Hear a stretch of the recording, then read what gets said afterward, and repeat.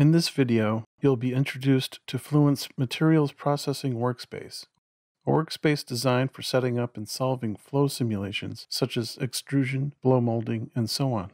The workspace provides the capability of modeling non Newtonian fluids through a wide range of generalized Newtonian models, simplified viscoelastic models, and full differential viscoelastic models. The workspace is available as a beta feature in the Fluent Launcher when using the enterprise licensing.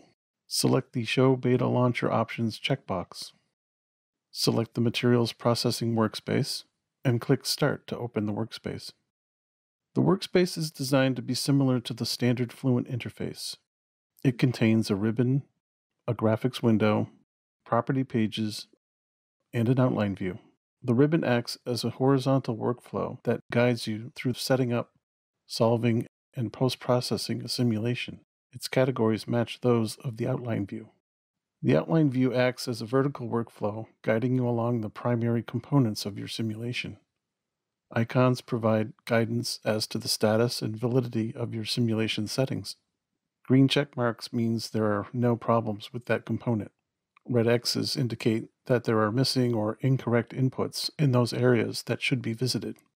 For a selected item in the outline view, you can access and edit corresponding settings and parameters in a separate window. Also, note how parts of the outline view become collapsed based on which category you are in within the ribbon.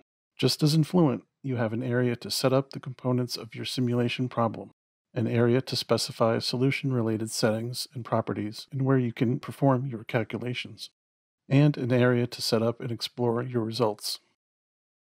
When it comes to getting started with the workspace, you have some flexibility. You can manually step through the outline view or the ribbon and set up your simulation, adding and removing and editing objects as you need based on your particular problem. You can create everything you need yourself, from materials to mesh deformations, including models on cell zones and boundary conditions. Or you can use simulation templates, accessible from the ribbon, that are provided for common materials processing problems.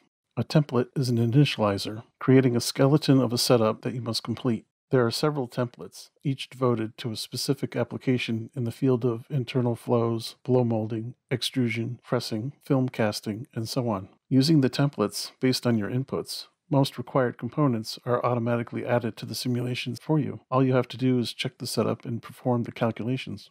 Finally, you can use simulation wizards, accessible from the ribbon as well. Wizards let you set up and solve a complete simulation with just a few key inputs and a mesh that must have a compatible topology with conventional names for zones and boundaries.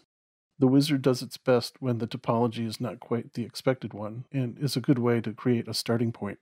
Based on your inputs, all required components are automatically added to the simulation setup for you. The solution is calculated, and the results are ready to analyze in a few moments. The setup includes general simulation settings, material property settings, cell zone settings, boundary zone settings, and so on.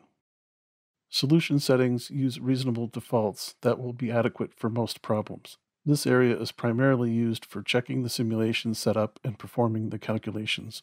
When you have a complete solution, go to the Results section to investigate the mesh, add contour plots, vector plots, and so on, just as you would in Fluent. The workspace also allows you to analyze time-dependent or transient results. This concludes this introduction to the Fluent Materials Processing Workspace. Thanks for watching.